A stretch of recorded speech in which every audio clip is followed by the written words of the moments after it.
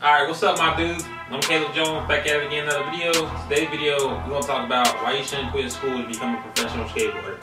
So hopefully you like this video. Feel free to comment, subscribe, and like. Alright, so lately I've been on Instagram. I was scrolling through Instagram, I was looking on Facebook, and I noticed there's like there's a lot of amateur skateboarders out here. And I'm, I know this for a reason because I've actually been in this position, so this is how I know.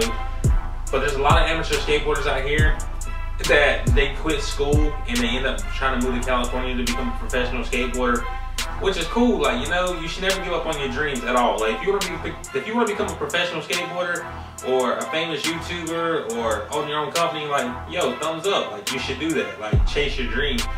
But only thing I'm trying to say is like, if you want to become a professional skateboarder and you want to quit school and move to California, like hopefully you got a backup plan. Hopefully you move to California and you got a job. If y'all kids don't know this, most amateur skateboarders nowadays they don't make really anything. Most of them make maybe five hundred dollars a month off a skateboard company. Like depending on what shoe company you ride for. Like if you're on Nike, I'm sure Nike amateur skateboard. I'm sure they make pretty decent money. I really don't know what their salary is, so I couldn't really tell you. But I know like if you ride for like DGK, those guys make maybe like five hundred dollars a month. So if you ride for a skateboard company, a truck company, um, a wheel company, a shoe company, you maybe, you might be bringing home $2,000 a month. Maybe if you're lucky. Maybe 1500 That's just if you're lucky.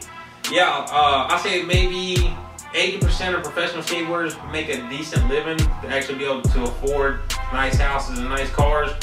But what I'm trying to say to you is, don't quit school to become a professional skateboarder. If you want to chase your dream to become a, a, professional skateboarder, do that. But make sure you finish school because if you finish school and you have a degree and you don't make it in skateboarding, you still can get a decent job making decent money and you'll be able to provide for yourself. A lot of these skateboarders that quit school and move to California, they end up living on people's couches, they end up living on people's floors. Like, and for me, like, yes, I would love to be a professional skateboarder, but as I started skating and I started traveling, I started to see how things worked a whole lot better. And I was just like, man, I don't want to be one of these people that end up sleeping on somebody's couch or sleeping on somebody's floor, floor and I damn sure don't want to be the person eating ramen noodles every day and cans of tuna. Like, no, like that's not the life that I want. So I had a, I had a decision. Like when I finished, like I graduated high school, and I had a decision. I was like, do I want to, do I want to keep chasing my dream and become a professional skateboarder, or do I want to finish school and get a good job, making good money? So I sat down and I thought about it, and I was like, you know I want to be a professional skateboarder, so what I'm gonna do is I'm just gonna keep skating, and I'm gonna, get a job, a part-time job, and I'm gonna keep working and see how things work. And something I noticed is like nowadays you can be um, the best skateboarder in the world and have no sponsors, or you can be somewhat good of a skateboarder, a skateboarder and have pretty good sponsors. It's really based on like who you know. If you know the right people, you get your foot in the door, then you're good. Like that's that's the best way to do it. Like yeah, you can go to California but if you go to California, try to meet certain pros and certain amps and just network and just meet the right people to get your foot in the door. You might end up getting a job working at like a warehouse or something, like a Hulk warehouse or a DGK warehouse or whatever skateboard companies you want to work for, you know what I'm saying? Or you can be like a sales rep. Sales reps make pretty decent money. I think the average skateboard sales rep makes between like ninety to $100,000 a year, which that's good money. But the thing is, is if you looked at my video, a couple of my videos, and you seen like my house tour, my house is like, I want to say, I think it's like 1,900 square feet. Uh, we pay like 92000 for a house, and our mortgage is like $600 a month, which isn't bad.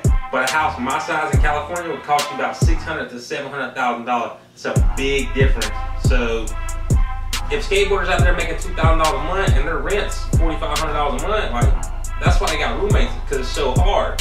But if they were smart, they'd make that money they live on the East Coast for a decent price, and they would just travel back and forth to California, and then just like sleep on people's couches for for like two, three weeks, or how long they want to be out there. But at the same time, they have their own place. They'll be able to afford rent, and they won't have to be worried about like where they're gonna sleep next. Like I seen when I was in California, I seen one house just full like a bunch of dudes, and they was all sleeping on the floor. They was all sweaty, and everybody's taking a shower in one shower, and everybody's using the same washer and dryer. Like that's not the life I wanted. I was like, I'm, I'm not gonna be that person. I will never be that person. So I got me a job working at UPS, and I just started working at UPS. Uh, I've been there for like five years now, and I make decent money. And I go in there like four o'clock in the morning. I'm out of there by nine o'clock in the morning.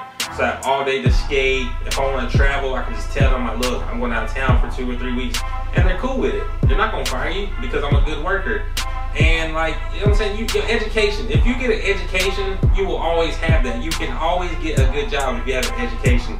If you don't have an education and you quit school to become a skateboarder and it don't work out for you, you end up working at McDonald's or like a Family Dollar and just making like maybe eight, nine dollars an hour.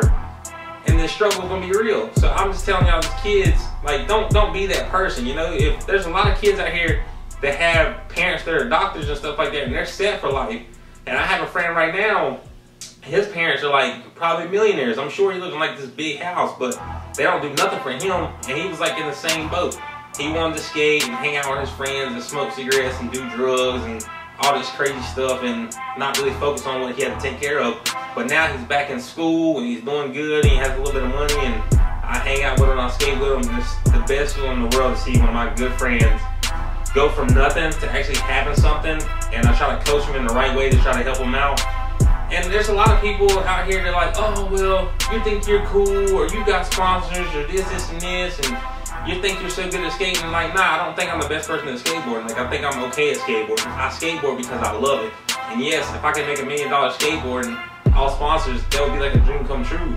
But I'm not skating to make millions of dollars. I'm skating because I love to skate. The same reason I make YouTube videos is I make YouTube videos so kids can watch my videos and maybe in the future they can look back like, okay, well I, I took your steps and it helped me out somewhat. Like how I made my sponsor me video. Like, a lot of kids hit me up and said, yo, thanks, this really helped me out. And that's why I'm here for. What I'm trying to say is, at the end of the day, don't put all your eggs in one basket. Don't go, don't quit school and move to California to become a professional skateboarder. If that's what you want to do and it's in your heart and you believe you can make it, then go for it.